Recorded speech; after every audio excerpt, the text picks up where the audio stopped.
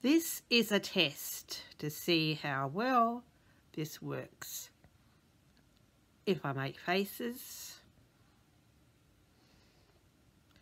whatever, just trying to test it out. I don't like to show my top teeth because I'm missing a few, so that's going to affect this a fair bit. But, oh well.